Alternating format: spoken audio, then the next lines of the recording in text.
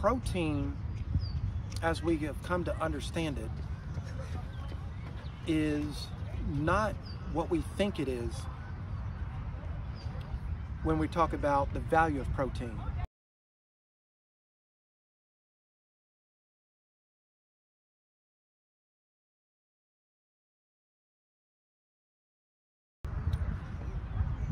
Understand this.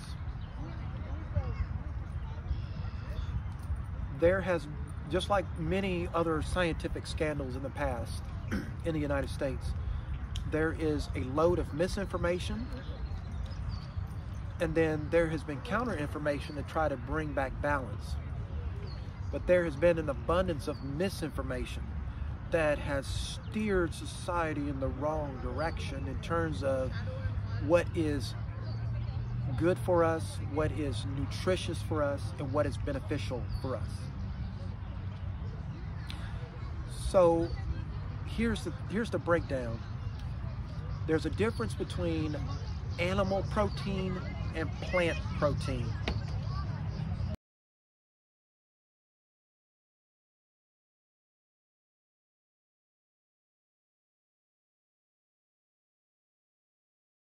So as I've learned from 2021, thanks to the inspiration of Eris Latham and then increasingly others, such as Dr. Bobby Price, such as Dr. Yahki Hickman of East St. Louis,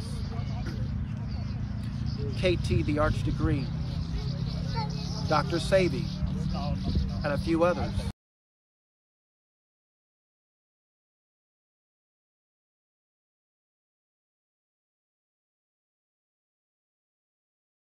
Just like many other scientific scandals in the past in the United States, there is a load of misinformation and then there has been counter information to try to bring back balance.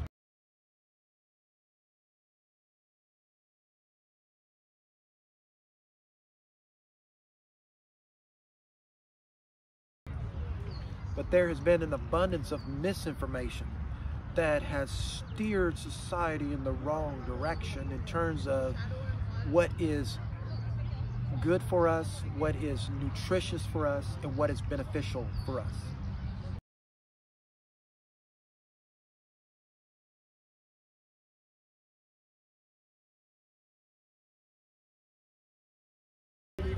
There's a difference between animal protein and plant protein. So now in 2024, I can finally answer the question, why don't I eat meat? And it's what I've known instinctively. And I can actually say it's not confirmation bias that the research and the actual information lines up with my views, but it just so happened that sometimes what you understand as a hypothesis within yourself is based on some real observations that have real truth connected to it.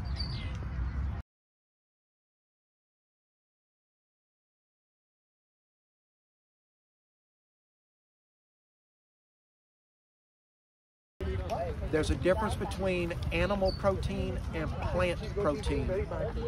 So now in 2024, I can finally answer the question, why don't I eat meat? And it's what I've known instinctively. And I can actually say it's not confirmation bias that the research and the actual information lines up with my views, but it just so happened that sometimes what you understand as a hypothesis within yourself is based on some real observations that have real truth connected to it.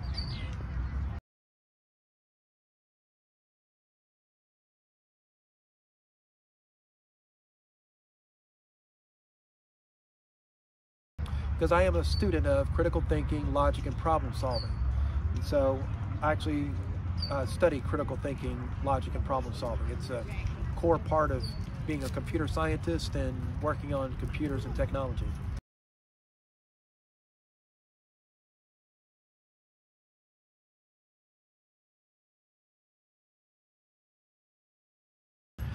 So as I try to apply that to this whole idea of why meat is not ideal or recommended? It comes down to this. The human body was not designed for meat. Meat is a carcinogen. Meat is a toxin. Animal meat actually can damage human cells. It can damage, it does damage, it's not a can, it does damage the human anatomical structures over time.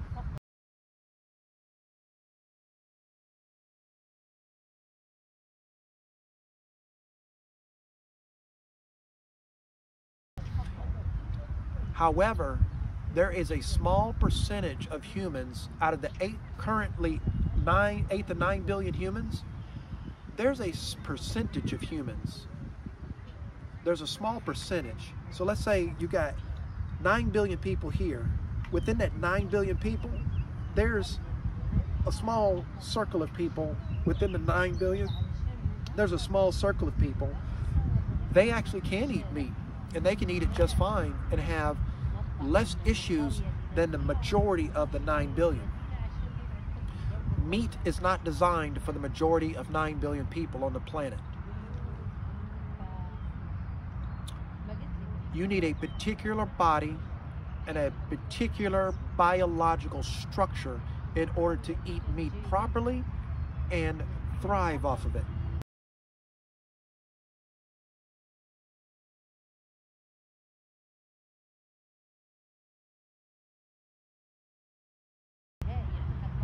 My body isn't designed that way. Mine is not, my body is part of the majority of the 9 billion that don't fool with meat. My body does is allergic to it.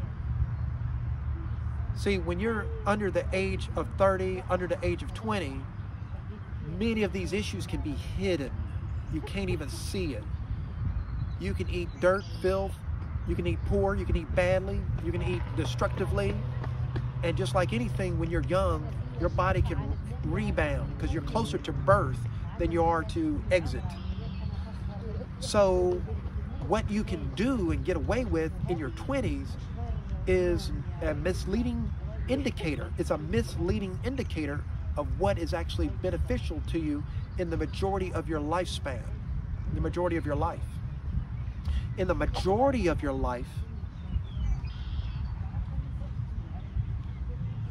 for the majority of us on this planet, as we are part of this nature, vegetables and fruits, nuts, seeds, and mushrooms, those are the key elements that activate and elevate our bodies along with the sun, which gives us vitamin D and more than just vitamin D. It actually gives a transmission into the cellular system and mitochondrial system itself. That's an area that science hasn't gotten to yet, but we have ancient knowledge and literature and studies that work with that.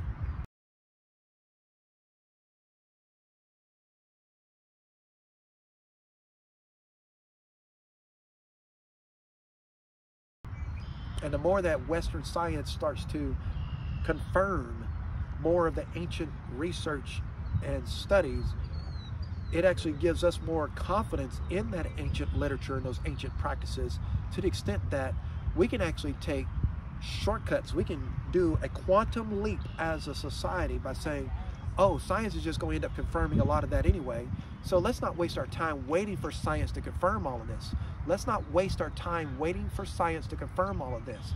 Let's not waste our time another 10, 20, 30, 40, 50, or 100 years waiting for these advanced microscopes and infrared uh, machines and equipment and laboratories to tell us what people 5,000 and 10,000 years ago already knew.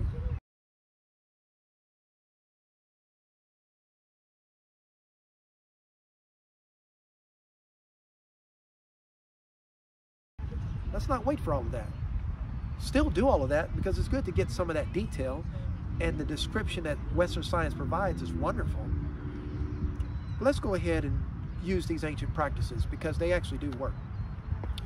So, science, Western science is just uh, re-identifying these things and putting it under a different name so that it can be patented and copywritten and you can make money off of it.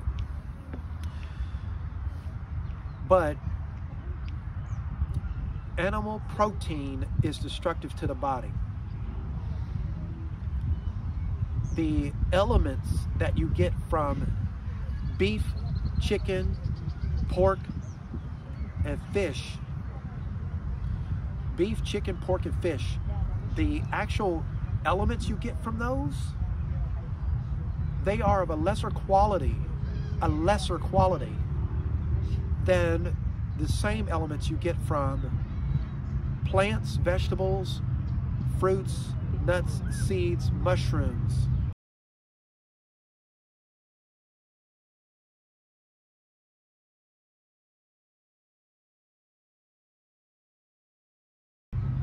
Those have the higher quality versions of these nutrients and more than what you can get from meat.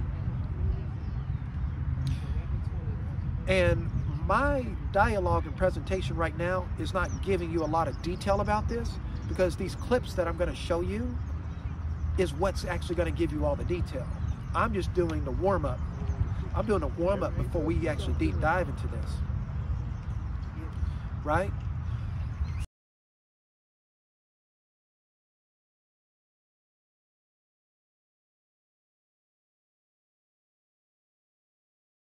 So but I do want to try to uh, close this section of the discussion before we get into the deep dive.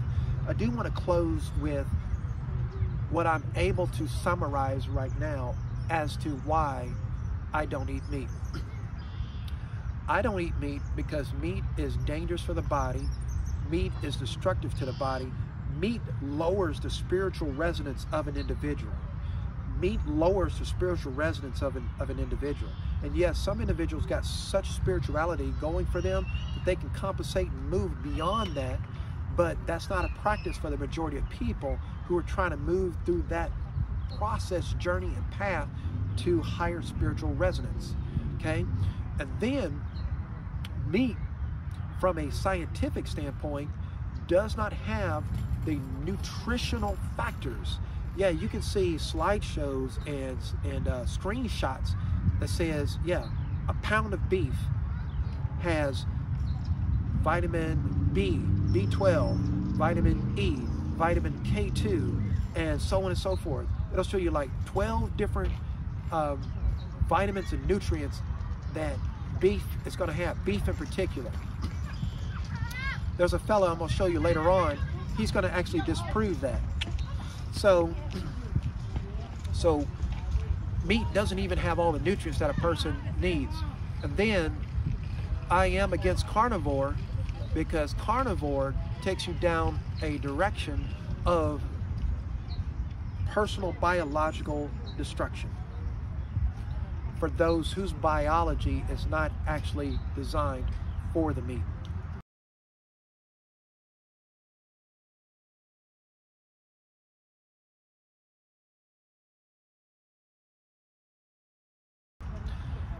So that's why I don't eat meat. I also don't eat meat because I can relate to animals. I can look at those animals that walk on all fours and I can look into their eyes. I can see them listening with their ears and I can relate to that on some level to where I can never consume and eat a creature that I would have as a pet. I mean, I don't do pets. I don't really believe in pets, but for those that do that, that's fine, you know. Um, I do watch a dog sometimes. Since 2005, sit, sit, sit, sit.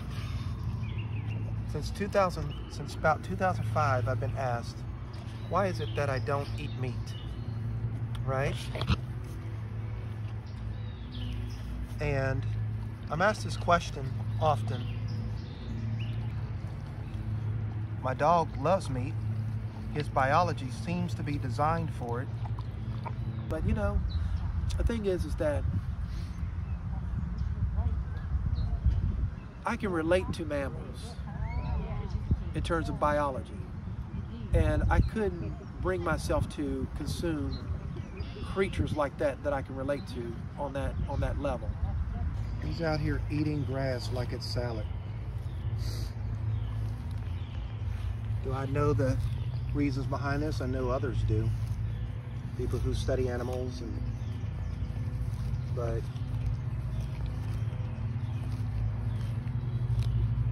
maybe I'm rubbing off on them. And then it's like there is no life in meat. Once the animal is dead, and I don't like using that word, but once the animal is dead and you have fried and, and sauteed or baked or whatever, by the time that's on the plate, there is no life in that food. It's, it's lifeless. It's actually a form of necromancy. It's a form of ritualistic consumption of dead flesh. It's exactly what it is. And so it's like, okay, that's not a practice for me. I try to avoid spiritual practices and other practices that deal with death. I just try to avoid it altogether. Right? That's why I don't actually believe in sacrifices, you know, sacrificing animals or when we are talking about food that is coming from animals, yes. most of the cases it's coming and uh, I'm just going to say it, mm. it's a cause of suffering mm. to the animals. Mm. It's in pain of the animals that the food is then created. So called food is extracted and created. So energetically, that carries that pain, that suffering that the animal had to go through. And when we are consuming it, we think we are only consuming the vitamins and the proteins and the fiber, but we're actually also consuming the karma or the energetic suffering that is absorbed into us. So I think because we are seeing food in a holistic, a sense, holistic sense uh-huh. for us, eating plant based becomes very critical. Even sacrificing, you know, even fruits and that sort of thing, right? You know, unless the fruit is already damaged or whatever, I'd rebury it in the ground as a libation to ancestors. But in general, no, I, I stay away from those practices that deal in death and emphasize practices that deal in life. And consuming meat would go counter to that. At the same time, if you do get into meat and you're buying it at a grocery store you're far away from the natural processes that what we call so-called predators engage in where they do get life from meat.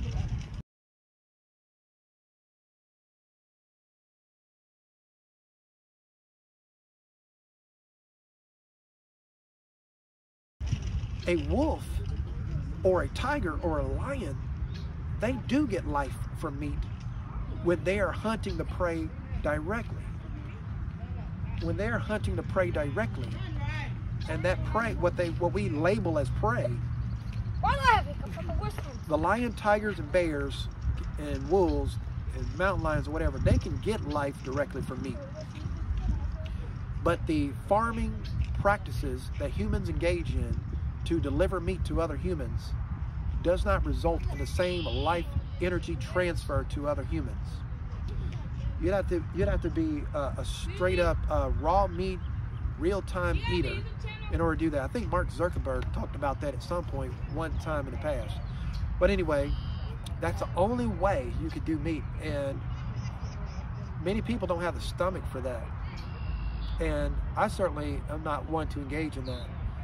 So unless you're willing to consume that cow, chicken, pig,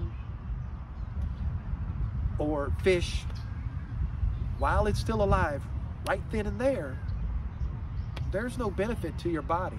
So then when it's packaged in the supermarket and kept frozen and they has that fake food coloring on it to make it look like it's red because you know when it's processed, it's actually gray.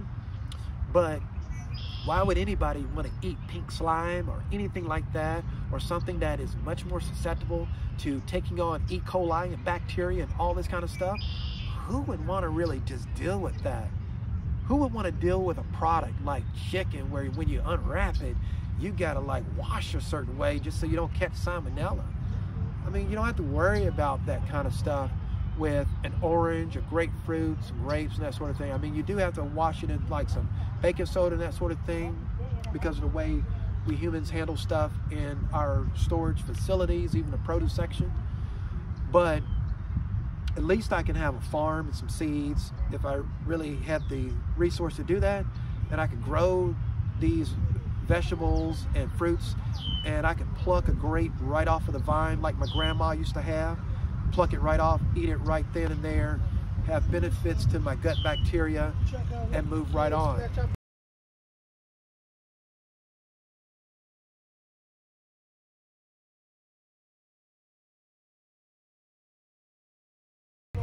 Totally different situation. Can't do that with meat. Meat is inefficient on that basis. It is something that is a more likely to be a carrier of disease, a carrier of things that come against your body, and it is something that you have to work even more with to even make it palatable to the body, to the tongue. And then on top of that, you're not even guaranteed to digest it properly. So that's my dialogue on meat. And now I want to show you some clips. Thank you, Great Spirit, for your manifestation. I want to show you some clips that illustrate many of these points from the vantage point of actual scientists, researchers, and PhDs. Stay tuned.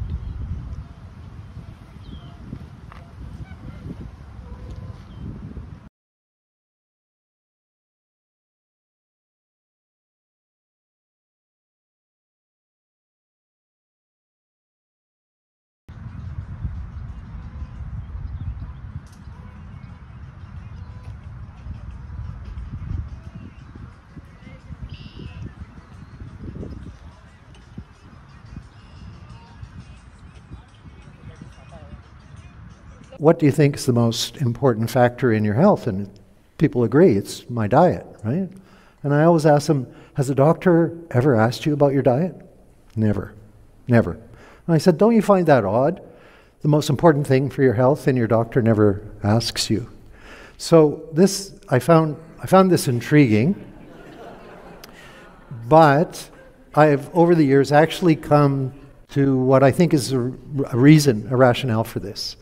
It's because we're pragmatic. We don't want to waste our time on something that doesn't work. And the only thing we're taught is the food guide move more, eat less. And if you try that, you know it doesn't work. So why waste time on it? And I think that's why we never we stay in our lane. We don't we don't go in, into nutrition because we don't have the training, we don't have the understanding, we don't have tools that actually work. Until Ozempic, uh, you know, came along. Anyway. So, the other thing my patients tell me in these interviews, almost always, it's, it's shocking to me, they always say, um, Yeah, you know, I eat meat, but uh, I, I, I avoid red meat. I'm cutting down on red meat, as though this is a, you know, something to be applauded. And I find that troubling. I always ask them why, and I get vague answers and not always clear. Some people are, you know, uh, committed vegans because they think it's less harm to animals. Some, a lot of people now think it's good for the climate, that if they don't eat that burger, the weather will get better. Um, nobody does it for religious reasons that I can detect in my patient population.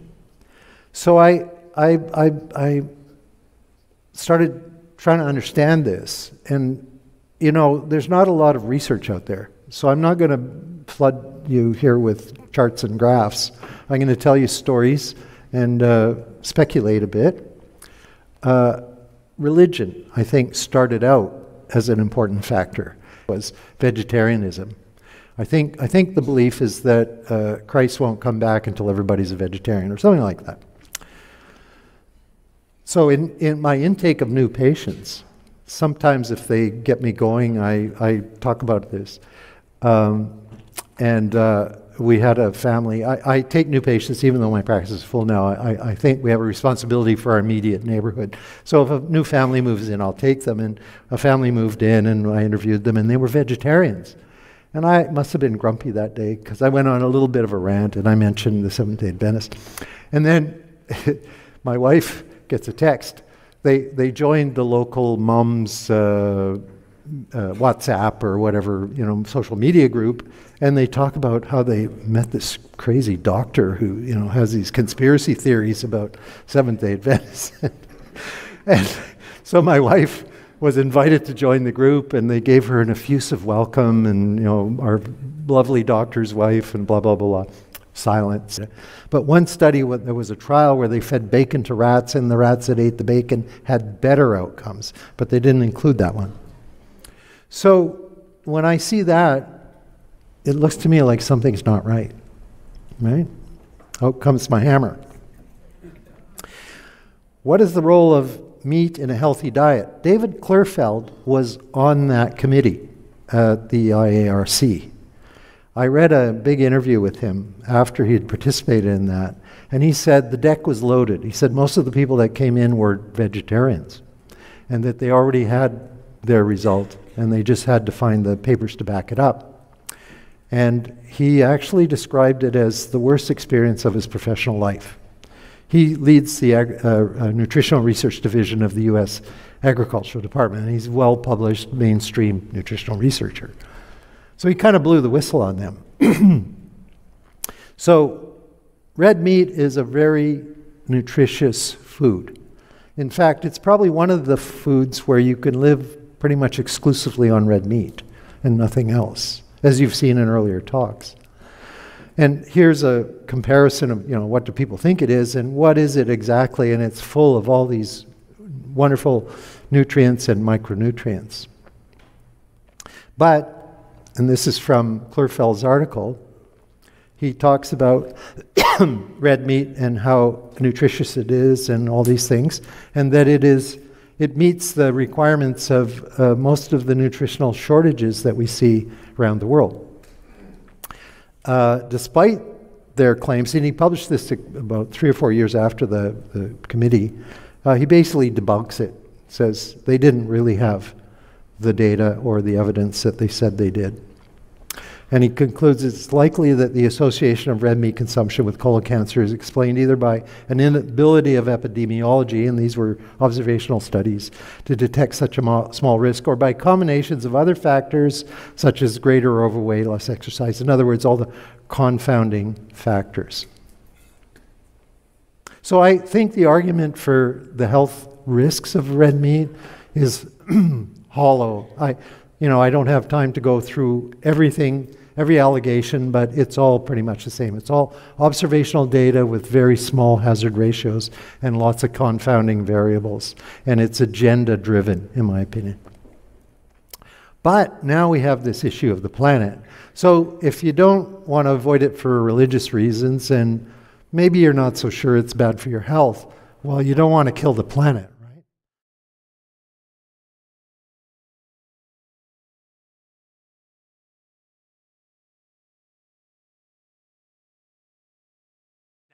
Talking about the absolute best food to help you heal, repair, especially after exercise, but from anything like stress, trauma, surgery, hands down, the answer would be red meat. Now, I recently did a video talking about different proteins which are a little bit better for certain health conditions, maybe something's better for anti-inflammatory, etc. But when we're talking about generalized healing and repair, animal meat, and specifically red meat, is at the top of the list.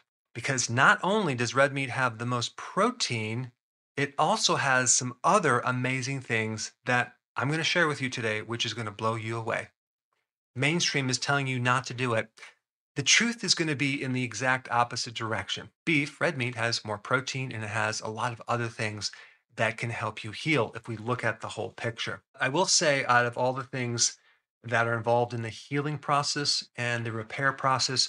Uh, we need amino acids. We, we need bioavailable protein, which is going to be animal protein, and we need concentrated protein.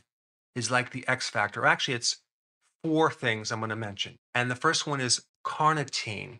It's this thing that helps transport fat into your cells, into the energy factory called the mitochondria to help you get more energy.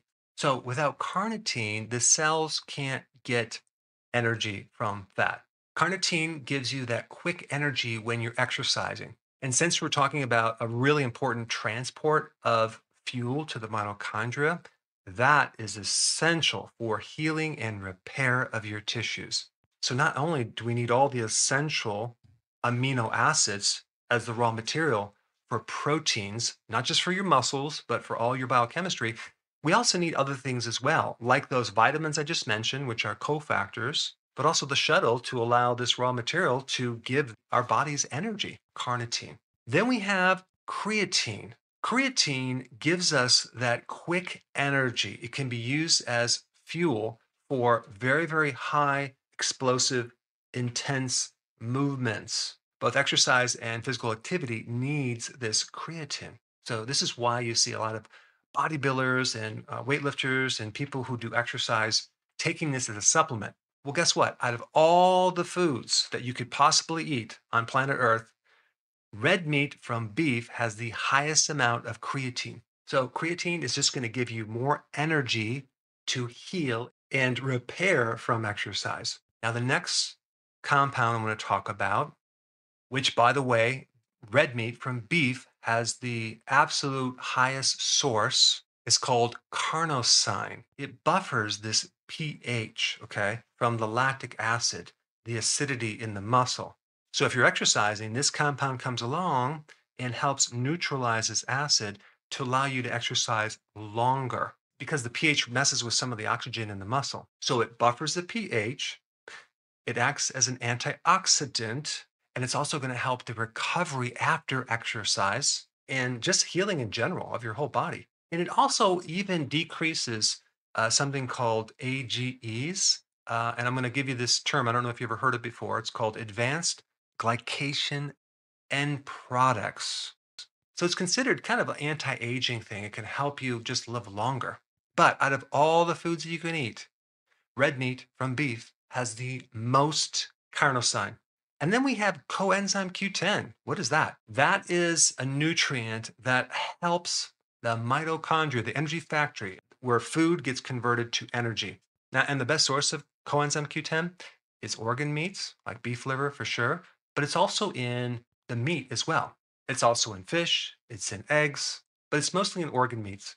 So, just in general, um, when I was very, very sick and I stumbled on this ketogenic diet, low carb diet, Buffalo Burger was my first food that I ate that I felt so good.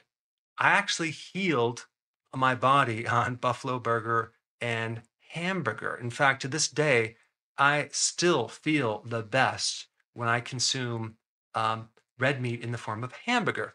Now, I will do steak and things like that, but I do very, very well on red meat in general. And there's only two conditions that you need to know about relating to the difficulty of digesting red meat. People that don't like red meat really have low stomach acids. And as someone ages, they get older, they will lose their stomach acids and the taste for red meat goes down. They can't really tolerate it. And there's this very simple solution. Just add some betaine hydrochloride to the meal. I'll put a link down below. You just take three to five before a meal. Okay, you don't have to take it forever. Just take it for a month. And what'll happen is it'll start to increase the acidity in your stomach. You'll start to digest the red meat much better and break it down and start feeling better. But when people get older, they just have a more difficult time because they don't have the stomach acid. And they're also going to have, as a parallel thing, uh, gas, more indigestion, definitely acid reflux, GERD. Those are all signs of low stomach acid. So instead of avoiding eating it, just fix the stomach's ability to digest it. There is a certain genetic condition where uh, someone has a hard time getting rid of iron. They tend to accumulate iron. And so, if that is you, then maybe uh, red meat is not the answer. You would want to do maybe poultry or maybe eggs, different protein sources that have lower amounts of iron. But for everyone else, I highly recommend red meat. Even if you're going through a menstrual cycle and you're losing blood, boy, red meat is going to be the best way to fix it because you're probably slightly anemic and red meat has the best iron and B12 in the best forms.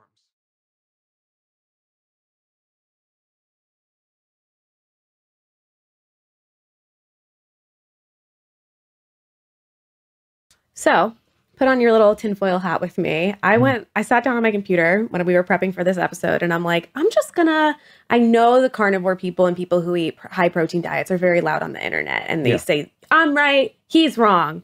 She's right, she's wrong. Right. And so I just wanted to see where they're getting their information from. Where are these studies? You know, what's what's the other side? So I sit down and I go Google like research on carnivore diet, research on high protein, research on keto. Right.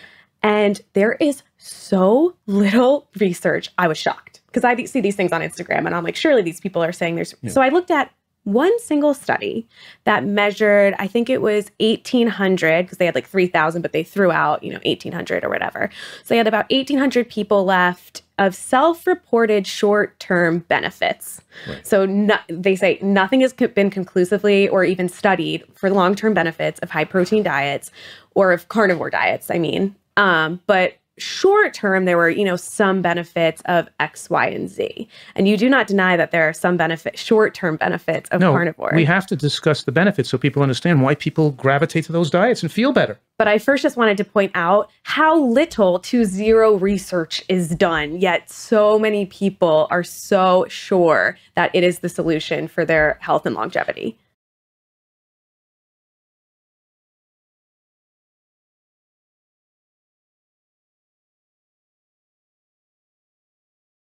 This high diet high in meat is deficient. It's deficient in vitamin C, it's deficient in folate, it's deficient in vitamin E, it's deficient in phytochemicals, it's deficient in magnesium, it's it's deficient. So how could these people on these their their diet's deficient, it's producing too much acidity, it's aging their joints, it's promoting cancer, and it's just absolute craziness and people love to follow it. So I'm actually shocked right now to hear you call out these nutrients that it's deficient in. Folate only comes from plants. Vitamin C comes from plants. Vitamin E comes from plants. Vitamin, you know, all these things come and from you plants. hear on the Yeah. internet actually people are now saying there's like posts on it people believe it that plants have nutrients or Anti-nutrients. anti-nutrients to and like a poison for Yeah, you poison, essentially yeah, yeah. right so i mean all animals like uh, humans from the beginning of time have been eating berries plants all so it's and primates. We're primates. totally which fully eat plants right And we have the undeniable data. And here it's 2024, but here's a study from 2023. Let me just let me just say, give you the title of this study. Low carbohydrate diets, low fat diets, and mortality in middle aged and older people. A prospective cohort study. They divided people into cohorts and a medium follow up, medium of 23.5 years with more than 165, almost 166,000 deaths. Imagine the amount of people you have to follow to get 165,000 deaths. They had to follow like a million people to get 165,000 deaths. Okay, so they were able to categorize all these huge amounts of people over 25 years. This is an incredible study published last year. It's just phenomenal. Okay, and research categorized people as eating either a healthy or unhealthy low fat or low carb low carb diet. And what do you think they found? Of course, what they found.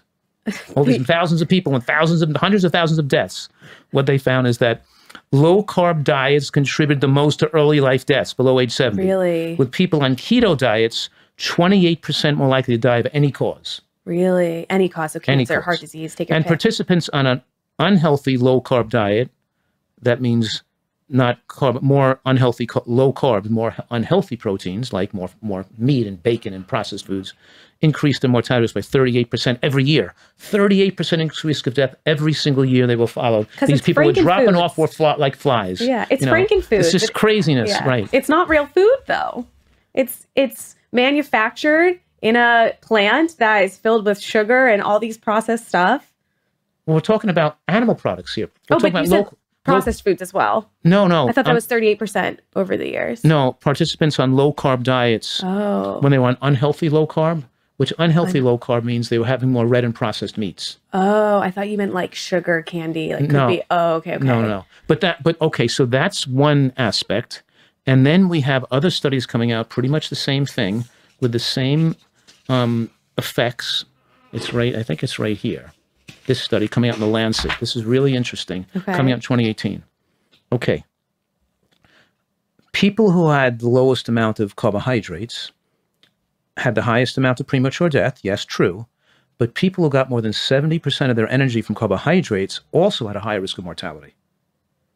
I see what you did there. There's an optimal range. Right. So here's the thing is that less carbohydrates bad, too much carbohydrate bad. True, people could argue because too much carbohydrates they were eating maybe more processed carbohydrates like rice or, you know, white rice or white bread. Yeah. But still, when they went and analyzed all the long-lived societies and long-lived populations, they found there was an optimal carbohydrate range in those in the blue zones as well, and the optimal fat range. So they're saying here, and then the people that lived the longest, who were the people? So this is published in the Lancet, 2018. The title of this study is Dietary Carbohydrate Intake and Mortality, a prospective cohort study and meta-analysis of all the studies, right? And they eat, they follow the eating patterns of like more than a half a million people around the world, like half a millions, you know, half a million people we're talking about. And they found that when you replace carbohydrates with animal products, more death, but both high and low carbohydrates were associated with increased mortality. The sweet spot of the longest life were mid-ranged when people got more protein and fat from high quality carbohydrates like beans and high quality proteins like nuts and seeds.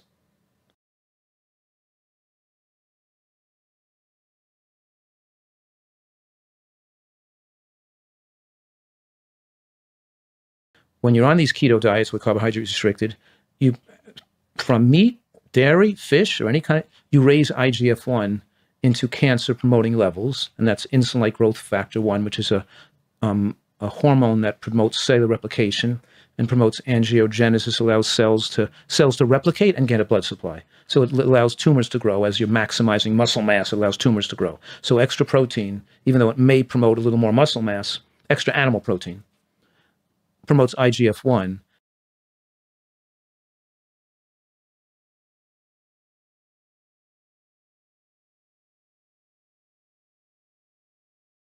And then it also changes the bacteria in the gut, which means that from unfavorable bacteria, bacteria in the gut promoting, promoting TMAO formation, which is trimethylamine oxide, which is a pro-inflammatory substance that ages us and promotes atherosclerosis.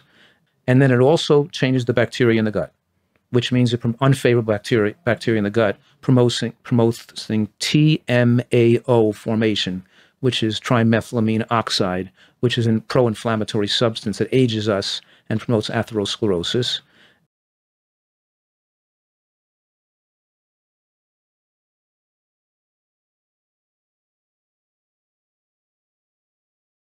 I'm saying that it's people that they um fat is bad and they cut too much fat out of the diet. Bad. Mm-hmm. People who put too much they carbohydrate is bad. They cut too much carbohydrate out of their diet. They yeah. want to be keto. Yeah. Or they want to be zone. You know, the zone is 40 30 30. 40% carbohydrate, 30% fat, 30% protein. Keto is 70% is less than 30% protein, 30% um, fat. I'm sorry. The keto is less than 30% carbohydrate. Yeah. So it's like 20% carbohydrates, 30% fat, and 50% protein. 50, 30, 20, something like that, or 40, you know, something in that range. They want to keep carbohydrate really low. Maybe fat's the most thing they eat, like 50% fat, um, 30% carbohydrate, or 20% carbohydrate after 50% fat, leaving 30%. Wait, I have a question. Are protein. you saying if for like keto or carnivore, someone that's eating a very meat heavy diet, say it's just like meat and vegetables, you're saying that diet, if it's mainly meat, is higher in fat than it is protein? That's correct meat is more fat than protein. Really? I don't fat. think I knew that because yeah. people are p- protein obsessed, protein crazed. I, I feel like mm-hmm. that's their number one reason for going carnivore or keto is right. because they're like, I just need a ton of protein. It's like the hamburger so is like 35% protein. Yeah. And then like 65% fat. You know, yeah. most meat is, is more fat than protein. Right. But even if the leanest cuts of meats, are, it could be like 50 50. Yeah. Maybe chicken or fish might be more protein than, than fat. But in any case, they're getting, they're still getting adequate fat and protein, mm. but they're restricting carbohydrate. And what the studies are showing, so I'm saying here, the studies show two very interesting points. One is that carbohydrate goes down and deaths increase.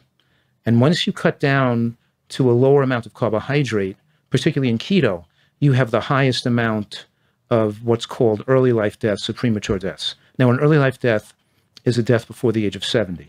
The average, um, the average male lives to be about 75. So if you're losing more than five years of life, early life death before the age of 70 for a male, that's what keto diets show when they're tested long term. And I've got a whole bunch of studies in front of me, like 20 different studies that show the same, that all corroborate each other.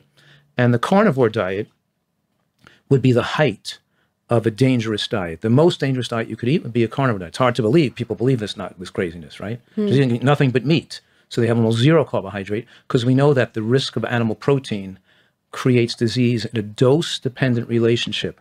The more your diet restricts carbohydrate, and we're needing carbohydrate, we need protein, we need fat, but as you restrict carbohydrate and too low, you increase the risk of death. And the optimal carbohydrate intake, based on all these studies, optimally is probably between 50% carbohydrate and 70% carbohydrate. The optimal fat protein ratio is not the 80 10 10 that the fruitarians and the and part of the low fat vegan community are advocating, but it's more like a nutritarian diet. A nutritarian diet is more like 60 20 20 or 70 15 15. We're talking about 60 to 70% carbohydrate and 15 to 20% protein and 15 to 20% fat. That's what the nutritarian diet runs around based on eating, you know, a few ounces of nuts and seeds a day. And that's what the scientific literature has from all these studies. Uh, those are the ranges we get where we get maximal lifespan and the most centenarians, most healthy, long lived people. We have so much data here today, and I'm going to show you some of this incredible data. But the point I'm making is it's pretty interesting because it shows that there's an optimal carbohydrate range, there's an optimal fat range, and there's an optimal protein range for longevity that people don't even have never heard of or are not considering because the advice they get from these people speaking at all these conferences and lectures and that they, they are not accurate.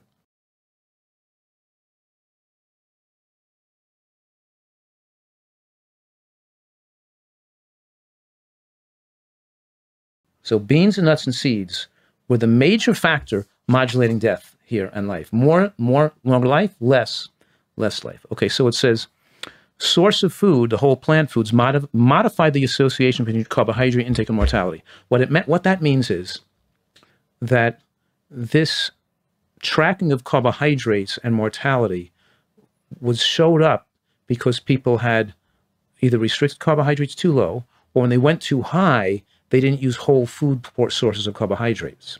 Totally. Because whole food sources of carbohydrates have protein and fat in them, except for fruit. So fruit is the only whole plant food that isn't high in protein. The other plant foods, there are five of them intact grains, vegetables, beans, nuts and seeds. I'm missing one, I guess. Is there four now? Intact whole grains. I guess there's only four. Intact whole grains, vegetables, nuts and seeds, and beans. Right? Those are the four sources of.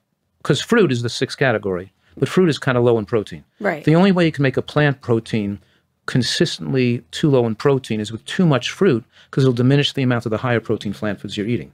So as your diet moves towards fruitarian, an excess of calories from fruit, lowering the amount, pushing off your plate those higher protein plant foods, then your diet can become too low in protein as we age and require more protein. really what it comes down to is education at least it, you look at the education look at the studies because you don't have a choice if you don't know but now that you know you have the choice you could feel empowered to make the decisions to choose plant protein over animal products to choose health promoting foods spend more time in the produce aisles all that stuff but it all starts with education and knowing you have options Right. Let me give you an example of some high protein foods right now. Some really super high protein plant foods. protein or Yeah, plant protein. Got it. Because that's the key. Yes, the message here is more plant protein intake extends lifespan. Mm-hmm. Even among plant foods, paying attention, protein does matter, mm-hmm.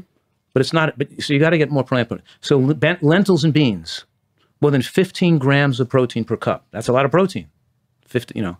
Okay, edamame, 20 grams of protein per cup. That's a huge amount of protein. Hemp seeds, 10 grams of protein for just three tablespoons of hemp seeds. That's a huge amount of protein. Talking about protein, you know, broccoli, 10 grams for two cups of, bro- of broccoli. That's like a little box of frozen broccoli, a small box. is- Pumpkin seeds, 13 grams for one and a half ounces. Almonds, 10 grams, one and a half ounces. We're talking about these plant foods, mostly beans, seeds, green vegetables, and nuts. So, green vegetables, seeds and nuts, beans and legumes are your highest protein plant sources and enables us to design a, pro- a diet with adequate protein for the elderly people who require more protein. Mm-hmm. and to give anyone a longer life didn't you say And start yeah, now start now Yeah, this is- absolutely This is what we're talking here about all the studies on protein and lifespan. Mm-hmm. And these studies are all corroborative each other. They corroborate each other with a high degree of accordance, which the high degree of accordance means they all show the same thing. The high So when so now that we're talking about we don't want our diet to be higher in animal protein. We do want it to be higher in plant protein. And just for the people that have always, I've seen this question so many times Am I too late? Should I change my diet or am I too late? If you are living, breathing, speaking, writing this message, you're not too late. Well, they're alive, so they could live better. They could maintain better health. They could even get healthier if they're alive. Yes. Once they're dead, they can't get healthier. Right. But Yeah. it, that's what I'm saying. If you're writing this message, you're not too late. So there's always time to change and improve your diet, improve your life and health span. Right. Living. If you are going to live, why not um, live the best you can? Be the healthiest version of yourself possible. If you're going to stay alive, then do it right. Absolutely.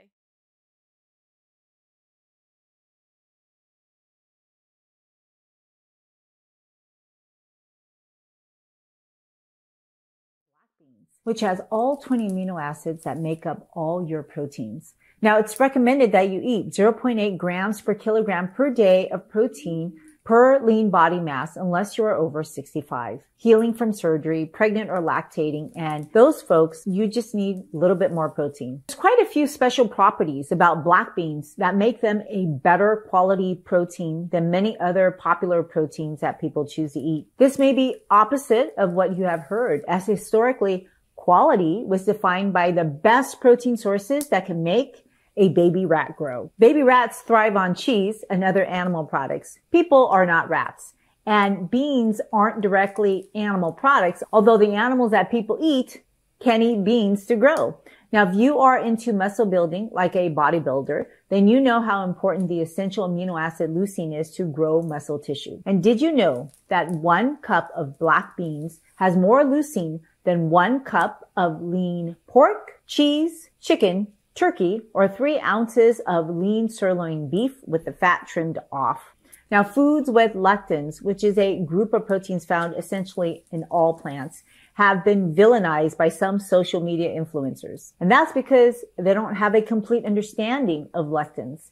Now, lectins are easily removed from any bean. There's multiple ways to do it. If you pre-soak your beans overnight and then boil them for 15 minutes, you will destroy 98% of the remaining lectins. Just soaking them removes most of the lectins as they are water soluble. Now, 30 minutes of boiling will destroy all the lectins. If you don't pre-soak your beans, then you need to boil your beans for about an hour. Just know that slow cooking your beans will not destroy as many lectins. But sprouted beans have less lectins and your body can also deactivate some lectins. Now, if you've ever cooked any beans, you know it takes probably at least 40 minutes of boiling to get it soft and edible. That's why I choose to use a pressure cooker. Lectin poisoning is not common as most people who eat beans want it soft enough so that they can crush it on the roof of their mouth with their tongue. The animal, plant, and human already have lectins inside them. Faba beans has been shown to change colon cancer cells back to normal cells by lowering cholesterol due to the soluble fiber and faba beans can widen your blood vessels because they are rich in potassium and magnesium, two essential minerals that too many Americans are struggling to get in their diets daily. Now, my favorite way to eat soybean is in the form of tofu, but I also eat soy noodles, soy sheets, soy pudding, edamame beans, and I drink soy milk. Although tofu and soy milk are processed, these foods are not the same as soy protein and soy protein isolates found in ultra processed foods, which don't have the beneficial micronutrients that have been tested for thousands of years. Now, my ancestors have been eating soybeans and minimally processed soy foods like tofu since the largest and most complex macronutrient and they serve as a structure or scaffold of your entire body. And this is why people focus on foods high in essential amino acids, which are nine amino acids that your body can't make. Proteins not only make your muscles, but your connective tissue that hold your bones and joints together, your skin and the hair on your skin, your bones, your blood vessels, the sacs that surround your organs, and proteins are a part of every cell in your body. Half a cup of soybeans is equivalent to the protein found in five ounces of steak. And unlike meat, soybeans have no cholesterol and very little saturated fat. It also has no harmful hormones like estrogen or antibiotics that can cause you to pick up multi-drug resistant bacteria. Soy has always been my quick and easy protein source. I especially like tofu and soy milk because they are easily absorbed as they have very little dietary fiber. First, you can't store protein. Whatever you don't use for the day, that gets stored as fat. And that's an excellent way to gain weight just by eating a lot of protein. But usually it's the other foods that come along with that protein, like fat, that causes the most weight gain. Now in nature, you're never going to find protein alone. It's always with some other energy source, either fat or carbohydrates. Now if you eat animal products, you're going to eat more fat. And if you eat plants, you're going to get more sugar with that protein. Digesting proteins and processing proteins, that's really hard work for your body, especially your liver, which has to get rid of the nitrogen waste that is on all the amino acids. That nitrogen becomes a neurotoxin called ammonia, which is the same ingredient as in your window cleaner. Ammonia is pretty toxic.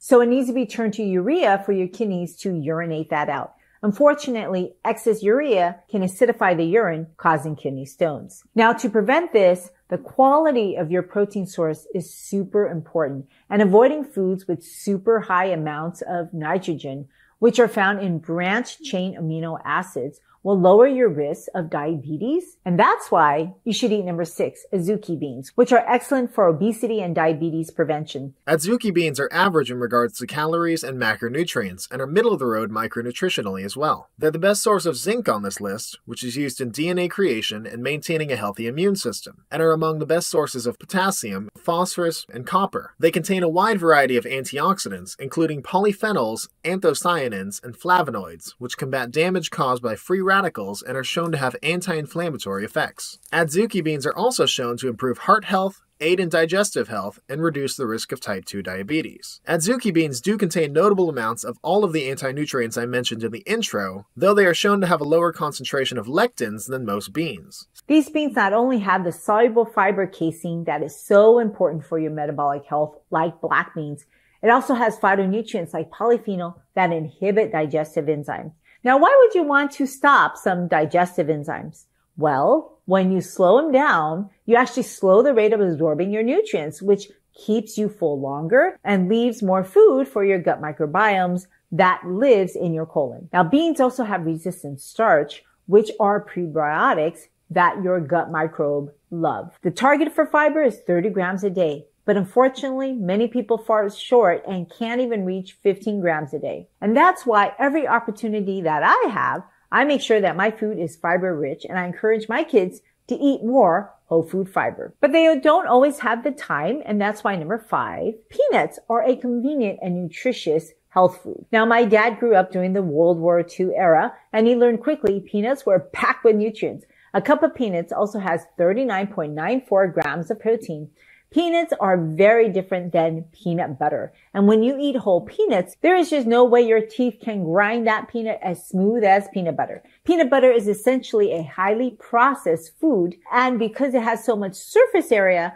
it allows the digestive enzymes to quickly and easily metabolize it. So it's much better to eat whole peanuts as it'll take time for your enzymes to break that down and to reach the nutrients. You probably only absorb 60% of the calories of eating whole peanuts because the fiber traps the rest of it and then it gets flushed down in the toilet. Another convenient food to eat is number four, pumpkin seeds, which is rich in protein at 35.21 grams per cup. Now I usually sprinkle them in my salad or add them to grains and beans. And I try to eat a little every day. Not only because they are full of protein and fiber to reduce blood sugars, weight, and cholesterol, but pumpkin seeds also help to maintain healthy hair, as shown by this randomized trial on hair growth. That's the benefit of eating whole foods. It talks to your entire body in so many ways. Now, if you don't like peanuts or pumpkin seeds, and how about number three, almonds? A cup of almonds have 28.93 grams of protein and they too have the benefit of being convenient. Now, did you know that almonds reduce skin wrinkling?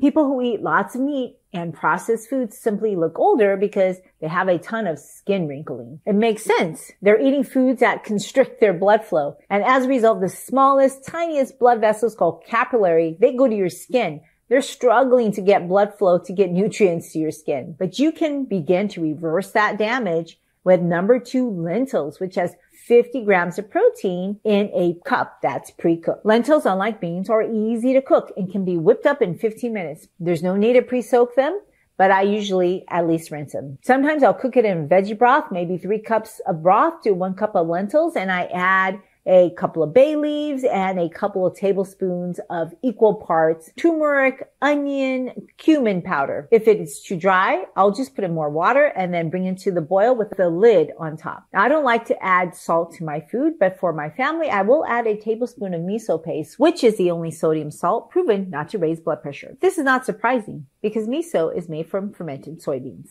Without eating enough of the right foods, you won't get protein. And without protein, the body won't grow, heal, or defend itself against infectious diseases like pneumonia, which remains the leading cause of death around the world. This protein is also bad unless you're actively building muscle like athletes and young children. The rest of us will just get fat and fatty liver and a weakened immune system because there's no way for your body to store that extra protein except as fat. So unless you have special needs, like trying to heal a gaping ulcer, if you are eating enough food to maintain your weight, you are likely overeating protein, probably about twice as much or more than you need. Now, the number one highest source of natural foods, if you exclude chicken gizzard on the USDA list of protein, is pink beans, which are 44.02 grams of protein and only 0.05 grams below the chicken gizzard. Pink beans or Santa Maria pinquitos are similar to pinto beans and they have a rich, meaty flavor.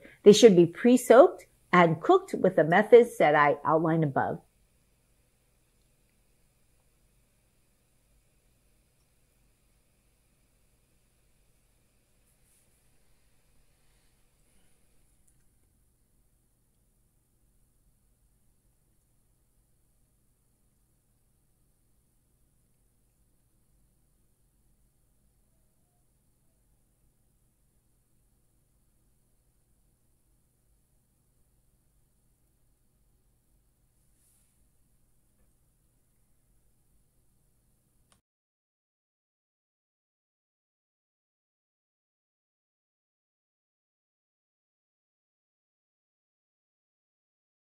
Your arm and you get a scab on there, the same thing happened internally when something obstruct the walls or the tissues that's inside of your body. They scab over too. What scab them over is cholesterol. So people will say cholesterol is bad. No, cholesterol is not bad. And, and, and you having high cholesterol is not a bad thing. It's saving your life. If you didn't have the rips and tears in the, on your internal organs or eternal organs, should I say, if you didn't have the rips and tears in the venous system, then the cholesterol wouldn't be there clogging up them places anyway. See, we are constantly looking at things going on in our body and we're acting like our body is attacking itself or we acting like things are wrong with our body. But our body is just so intelligent that we end up killing it thinking we know better than our body when we don't. There's really no such thing as bad cholesterol. You can't have melanin neurotransmitters without cholesterol. Cholesterol is what surrounds the cells and protects the cells. It's called the cellular membrane. That's made of cholesterol. You have liquid crystals that flow throughout the bloodstream and flow in and out of the cells, actually helping you exchange things through the interstitial fluid. That's cholesterol. You can't fire off. You cannot fire off a, a melanin a, a, melanin transmitter without cholesterol. Your neurons. Guess what carries the neurons throughout the brain and throughout the body? Cholesterol. Guess what help patch up internal bleeding? Cholesterol. See that the whole thing is just like mucus. Everybody think mucus is is the uh, the culprit. They think mucus is the bad guy. It's not. Without mucus or without your mucus membrane, it would be impossible for you to live. You would die of all types of outward invaders coming in and just hijacking your body. Because what the mucosa membrane does is it it lines the inside but outside of your body. And the reason why I'm calling it the inside but outside is from your mouth to your anus, it's inside of the body, but it says not inside of the cells. See that this is a hollow tube. And what keeps things from getting inside of the bloodstream and keep things from getting inside of our connective tissues is this thick mucus layer that starts in your mouth, goes down your esophagus all throughout your digestive system and end up at your anus. So even though your digestive system or this tube is on the inside of your body, is really on the outside of your body body because the only way into the body is by way of the bloodstream through blood capillaries. So even mucus, when you're talking about mucus, Mucus is a defense. Mucus don't cause disease. Now, excessive mucus buildup because mucus puts out fire. Again, mucus and calcium, it literally neutralizes acids. And then these things get engulfed by the mucus. Then mucus moves it into something called the interstitial fluid. Once it goes into the interstitial fluid of the body, it goes to something called the, uh, the lymph capillary vessels. Then it goes inside the lymph nodes and it gets broken down or degraded. And then it goes to the kidneys and then you urinate it out. You see that? So this stops the proliferation of cells. So what is the problem? The problem wasn't the mucus. The problem was eating the acidic forming foods that bring that brought mucus in the body to become a defense. The problem isn't the calcium. The problem is the things that you're eating that's obstructing the artery walls that's going to bring calcium calcium to that artery to scab over to heal that part of the body. The problem isn't the parasite.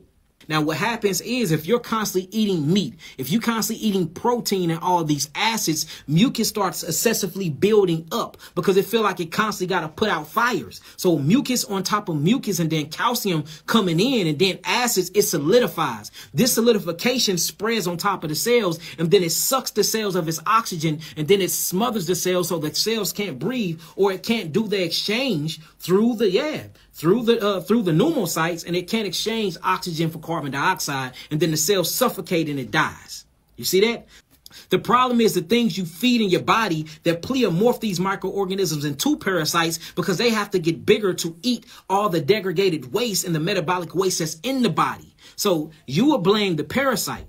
You will blame the mucus. You will blame the cholesterol. You will blame the calcium. But these are not the cause to your disease. These are not the causes to your ill to your illnesses. These are the effects. So we need to get past the effects and we need to go to the actual root cause. And it's what you put in your mouth and this, this polluted, toxic environment and what you're bringing into your internal environment, y'all. So when you start looking, one of them is meat consumption. And look, everybody be like, well, my grandma lived 130 years and she ate meat. But did she live 130 years in her health? Or was she on a deathbed? Was she blind? Did she have, did she have hypertension? Did, what, did she have diabetes mellitus? Did she need to get her foot cut off? Was she on bed bed rest the whole the whole 20 years before she died. We talking about the actual quality of life, not the quantity of life. And then the people be like, well, we used to be hunters and gatherers. If you look back and you read the literature, they was dying of these same diseases today. We acting like these are new diseases.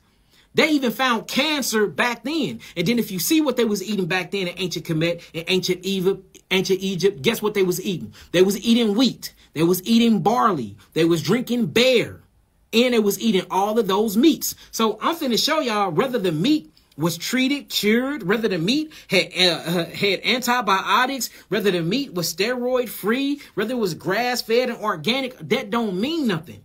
It goes against our molecular structures, meaning it will go against our body because it's full of used, already used proteins because most of the meat you eat, eat the things you're supposed to be eating. And what I mean by that, most of your meat, when it's alive, it eats simple amino acid structures from plant material. You do not eat meat that eat other meat.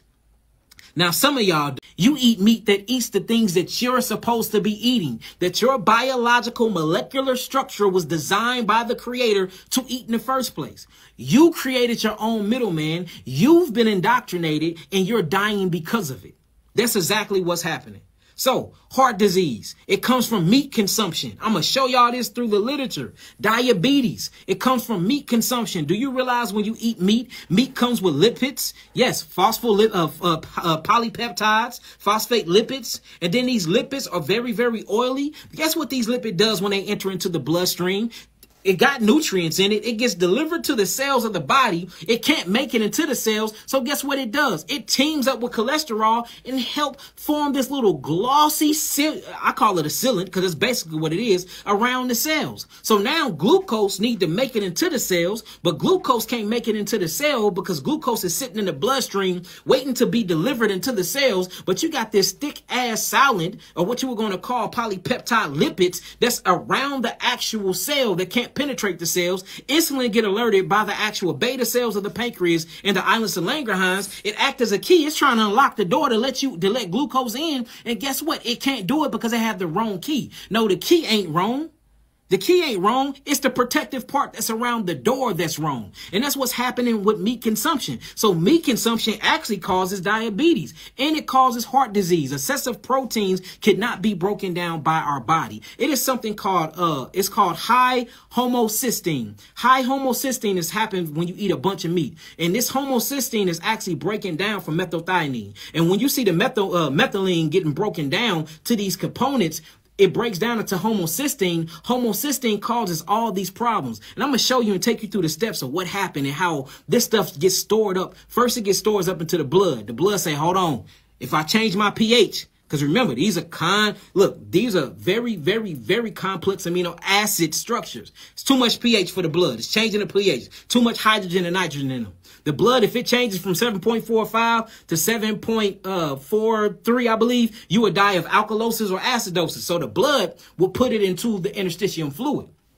Then this starts messing up lymph flow. So the lymph flow be like, oh, hell no. So guess what the lymph flow will do? The lymph will push it into the connective tissues. Now you got all of this, all this proliferated, yes, acidic protein in the connective tissue, causing you gout, causing you all type. Because remember, calcium coming. Calcium causes gout. Only reason why gout is in the tissue and between the bones is because it's trying to actually neutralize all the proteins that's between the connective tissues. Now, what happens is this don't work, so the body do a last attempt to heal itself. Guess what it does? It turns this actual homocysteine into full 100% protein, or what you will call collagen. And then what it does with collagen, it forces it back into the artery walls for the body can get rid of it. But collagen goes deep behind the, the basal membrane of the arteries and digs itself into the cells. Just like this. This is an artery. This is collagen. Basal, when, whenever you get into the healing space, basal means basement.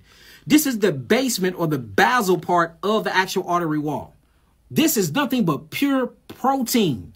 Now look, you see how it's pinching the artery because it's building up and building up because you have too many excessive proteins.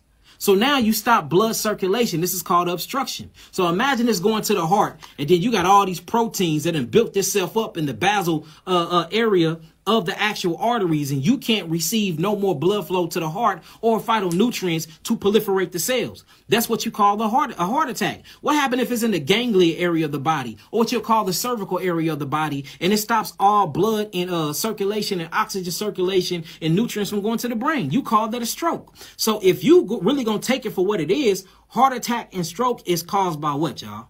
Eating meat, meat consumption. And that's what it is. All right, so here go article. And there's plenty of these, y'all. There's plenty of these. It says cured meat, vegetables, and bean foods in, relate, in, in relations to childhood acute leukemia risk. Population-based control study. And it just shows you how cured meat. We're going to go through cured meat, natural meat, all of that. And it's just showing you how children is actually getting all these different types of diseases from everything but fruit. We everything but fruit. I want y'all to read that. And it's basically talking about the consumption of cured smoked meat and fish leads to the formation of carcinogenic or nitrogen compounds in the in the acidic stomach. And you read through this, it shows you the method, the results, and everything. I'm not making this stuff up. So that's one of them. You can look it up. And this is uh, the number to check it out is uh, PMC 2653 uh, 540. Look it up, all the site uh, citations and everything are there. Here go another one. This is talking and check this one out. This is a very good one. I love I love this read. And it says in order for human stomachs to break down meat, it must have high it must be high in hydrochloric acid, which we're not. It said the stomach of humans and herbivores produce less than 120th of the acids produced by carnivores. And a lot of people is wondering why they got too much acid production inside of their stomach. And, and, and if you look at it, so you have a bunch of different processes that happen in the body. When you actually eat fruit, you have an alkaline enzyme called amylase or amylose. This is what actually breaks down your fruit or fructose. Then when you eat vegetables, you have something called trypsin. This actually breaks down your glucose. Well, when you need to start, these break down your carbohydrates and carbohydrates. We're just talking about carbon, hydrogen, and oxygen. All right. Now, when you start eating proteins or what you would call plant protein, you have something called, it's, it's called pepsin. Pepsin creates pepsinogen. This creates a hydrochloric acid to go higher. This breaks down plant protein, showing you that your body is made for plant protein. You don't have an enzyme to truly break down meat. So it'll break it down into bits and pieces, but then still big chunks are, are left out. So what it does is it goes to this small, uh, it goes through something called the duodenum, which is right here. I'm going to show you. So it'll go through the duodenum. So you would, you would eat this, you would eat this protein, right? Dang, I got orange peel in, uh, in my hand. You eat the protein, it'll go through the cardiac sphincter or the esophagus, then it end up in the stomach, right? Once it end up in the stomach, it goes into this small tract. This is called the duodenum.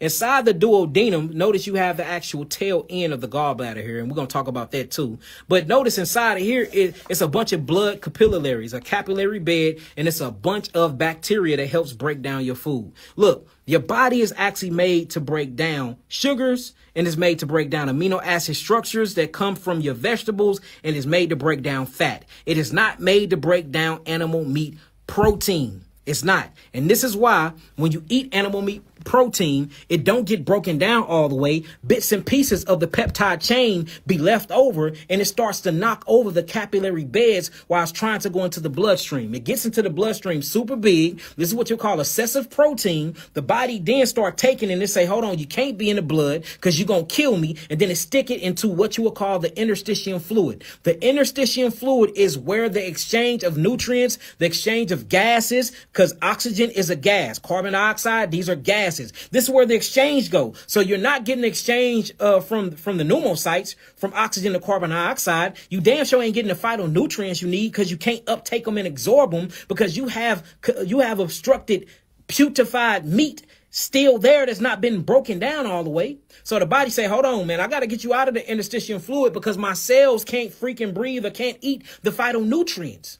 So then it sticks it to the connective tissues. Now you're having all types of problems wrong with your muscles, wrong with your connective tissues. You really think you got arthritis, but technically it's not arthritis. It's just all these damn acids is burning the ligaments and burning your connective tissues. So then that hurts. So the body say, let me make this one last attempt. It breaks it down and it turns it into collagen, brings it back into the bloodstream, take it to the arteries, and then it literally goes and builds up into that little basal membrane side of the cells. And this is what's causing your heart disease. Proteins, when you look at kidney failure, what damages kidneys, y'all? Animal protein. What they gonna check? They gonna check your creatinine, ain't they? They gonna check your BUN's number, your blood, urine, and nitrogen. Nitrogen comes from where? Oh, protein. Oh, nitrogen that's in the blood, huh? You you using the bathroom? You seeing all that foam? That's after your urine. That's that's protein leaking from the kidneys messing up the nephrons. Nephritis, that's protein damage to the nephrons. That's protein damage to the kidneys because your, your kidneys is not supposed to actually break down proteins. See that? It's not supposed to break down proteins. There's certain things that the kidneys bypass and bring it back into the bloodstream to be recycled again. So whenever you see proteins being leaked from the kidneys, it's because the proteins then tore up the kidneys and is leaking in your urine. You can't tell me one good thing about animal protein. Again, I'm not talking about vegetable protein. I'm not talking about, which is nothing but amino acid structures. And I sure ain't talking about fruit proteins or what you'll call simple or mono amino acid structures. I am here talking about complex amino acid structures that come from eating animals' flesh or their byproducts. It byproducts. It is killing us, family. So this is what it was saying. It says, in order for human stomachs to break down meat, it must be high in hydrochloric acids. The stomach of humans and herbivores produce less than 120th of the acid produced by carnivores. Because we cannot digest meat properly, our pancreas must unnaturally produce more hydrochloric acid. See that? Ulcers, leaky gut, because too much acid is being produced because your body is trying its hardest to break down this protein. You see that? It says inviting disease and sickness. After the meat passes through the stomach, it goes to the intestines. Humans take about 12 to 8 hours to digest their food, while carnivores only take three. And this is where you call putrefaction sets in.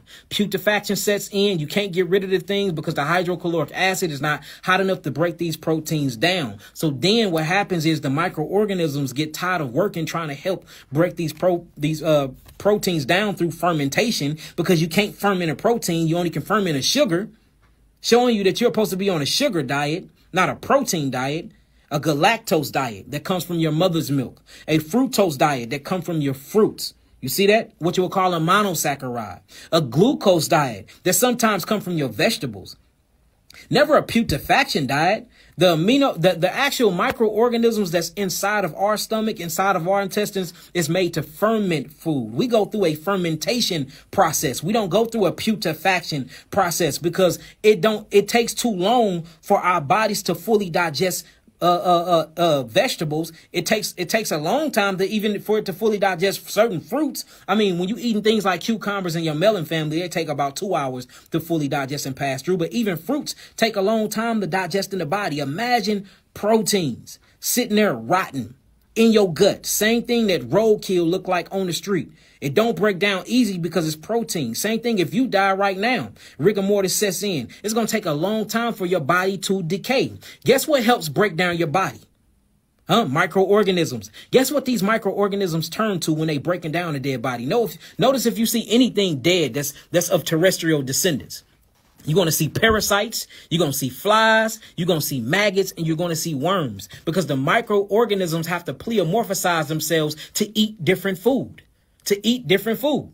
It's kind of like me. If I wanted to eat a damn 50 pound burger, if I could pleomorphosize myself to become a bigger person to eat it, I would do that because it's going to be impossible for me to, to eat a 50 pound burger my cells have the actual gift of pleomorphizing. I don't, but my cells do. So when they see things that they need to get rid of to keep it from harming the body, they will change their structure and functionality to actually eat these things. Guess what you call them? A parasite. Guess what they have you believing? That you got it from outside of your body when it was inside your body the whole damn time, coming from the granule of your cells. Now, am I saying that you can't catch a parasite from outside the body? I'll be lying. You can, you can catch toxoplasmosis from a cat. You can you can catch a fluke worm from stepping on dog poop. So you can catch parasites from outside the body. But guess where these parasites started from? Inside of something else cells. Most of these things starts from the body and you're getting it from your food. The food need to be broken down. The body's trying to save itself. So it'll pleomorphize the microorganisms that's trying to ferment the food. It's going to change them for they can actually putrefy the food and y'all will call it a parasite. These are the facts, family. not making none of this up. And I'm gonna show y'all how to get rid of this stuff. I mean, of course, the first thing is stop eating meat. It gave me look that and the drugs I was on when I was younger. All it gave me a heart attack. They they said I would never heal my heart, not heal my heart. Here go another one, y'all. It says the metabolism and significance of homocysteine in nutrients and health. Now remember, homocysteine actually come from high consumption of eating meat. Now, homocysteine is very, very bad for the body. They call it HCY. All right. Now, look what it says. This says, it says, shown in several age-related pathologies such as osteoporosis, Alzheimer's disease, Parkinson disease, stroke, cardiovascular disease. Also, HCY is associated but not limited to cancer. You see that? Aneurysm, hypothyroidism, renal stage disease. Renal means uh, kidney, y'all. Look, vitamin B, C deficiency, vitamin 12 deficiency, folate deficiency. And this is all in a meat enriched diet, y'all. Y'all can get on common Google right now and see how you get high levels of homocysteine in the body. It's going to tell you from heavy meat consumption. Right now, y'all. We have to quit eating meat, y'all. There's no way around it. Look, check this out. Does high levels of homocysteine in the blood and in the body come from eating meat? Let's see what it says. According to WebMD, homocysteine is a common amino acid in your blood. You get it mostly from eating meat. High levels of it are linked to early development of heart disease. Y'all see that? Homocysteine is a common amino acid in your blood. You get it mostly from eating meat. High levels of it are linked to early development of heart disease. In fact, a high, a high level of homocysteine is risk factor for heart disease. Most of your heart attacks, most of your strokes, most of your osteoporosis, most of all the things that's going on with your body is related to meat consumption. Y'all can can't nobody jump on here and tell me wrong. We got all these these Caucasian doctors, you know, champion for this carnivore diet. And most of the people that's been on a carnivore diet come to me now. And I told them that I said, y'all gonna end up getting renal disease, listening to these doctors, eating all this meat. Of course you're gonna feel good in the first place, in the, in, in the first half because you're fasting. You're on a mono diet. You're only eating meat. Of course, your, your ketones gonna kick in. You're gonna drop weight. You're on this high fat diet. You're gonna feel good. Your brain gonna be firing off because in a, in a sense, you are intermittent fasting. You're not eating all day and then you're limiting your, your, your diet to just fats for real. So of course you're gonna you you you're not getting that much sugars no more. You're gonna see your muscles build up. You go your abs gonna come in, but then you gotta face the consequences a year later. You're gonna have to face them consequences. And most of y'all come see me because y'all kidneys start failing. Why is the kidneys failing? Because the proteins is damaging the nephrons. You start having heart uh, palpitations. Why is your heart and your rhythmatic frequency of your heart is off? All because something is blocking the arteries and keeping blood from flowing properly to their heart. Oh, you got a bunch of migraines and headaches now. What's going on there? Oh, you blocking the actual arteries to, to get blood actually to the brain. Oh, your bones is hurting now. Oh, you not absorbing. See that? You're not di- you're not digesting, absorbing, you're not utilizing, and you're not eliminating because you're eating the wrong foods. See, it all sound crazy. Everybody call me a quack. Everybody say I'm out of my mind. But everything I say is always coming to pass. Why is that? And I'm not the only one saying this stuff. Just because you read it don't mean it's true. They pay scientists millions and millions of dollars a year to their campaigns to tell lies about their studies. You got to know you got to feel what's wrong and what's right. And then you have to get out here and get in the field and seeing if it's working on people. We have to just quit reading and taking people word for it. Get out in that field and you see what meat eating is doing to people. And guess how you see what it's doing to people? Somebody coming to you sick, they're nine times out of 10, three of their meals out of day is going to have meat on the plate.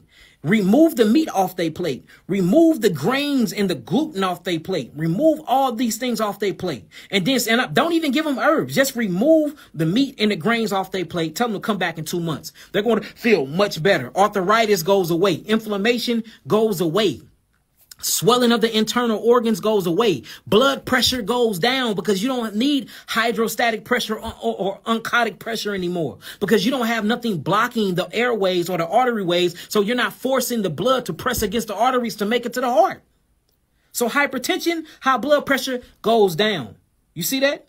Systolic and diastolic levels goes down. Your 180 is now 120. Your 110 is now 80 or 70. Now you neutral. Now you're normalized. You 120 over 70 and 80. You back normal just by eating the right foods. All look, all up, it's all in our face, y'all. We're just in denial because we in, we addicted to what we've been eating, family, and we have been indoctrinized by the allopathic community and by the televisions and by the radio stations and by the line ass education system in the schools we was put through, forced to go to. And you know that it ain't natural because our children don't want to go there. And then half the time we got to beat them to act right and do good in school because they naturally not feeling that bull crap that they teaching our children. We can't even comprehend the stupidity and the lies that they are teaching us. And then they say that we have mental disabilities. We have a learning disability. Yo, children ain't got no learning disability. They peeping the bullshit and it don't make sense to them. And you should ask yourself, why do this stuff make sense to you? Have you been indoctrinated?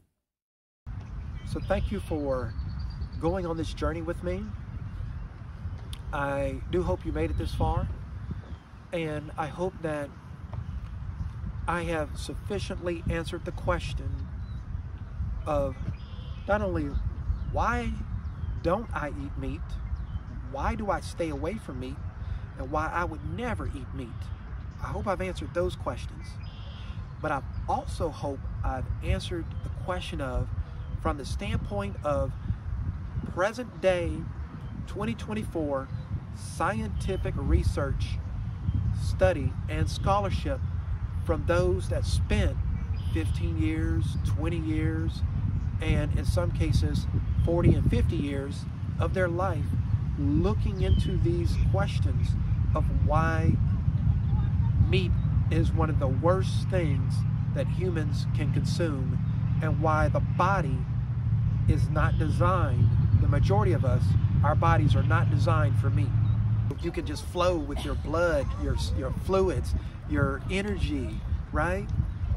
Then you are more equipped to be able to do a wide variety of things, right? So we don't want to slow down. We don't want to be held back. And things like meat, processed oils, processed sugars, and these um, fake made up breads and the vast majority of stuff in these supermarkets and, and whatever, a lot of stuff is not good for you and it holds you back. It suppresses you. It suppresses the human being, right? And then you could throw that stuff away and you could just do uh, real vegetables, whole vegetables, whole fruits, plants, nuts, seeds, right? And the right oils and mushrooms and that sort of thing, and the right liquids like coconut water, spring water, because purified water is not good for you. And then if you can use distilled water the right way with like trace mineral drops and stuff, and you can do herbal teas, when you can do that kind of stuff, then you you are enabling the human body to be a better platform for the spirit. That's what it's all about. Your intellect, your mind, and your spirit now has a rover. It has a, a it has a, a, a operating system and hardware, even though it's more than that. It has the actual tool set, physical tool set to interact with this reality more to the level that it wants to. Right? And if we could treat our gut right, then that spreads through the whole system, up and down, and we're able to be more effective as living beings on multiple dimensions, spiritually as well as physically and in between. So that's my take on diet, nutrition, and most especially the avoidance and the elimination of meat from the diet. I hope you find this well. I will see you on the next one. Thank you.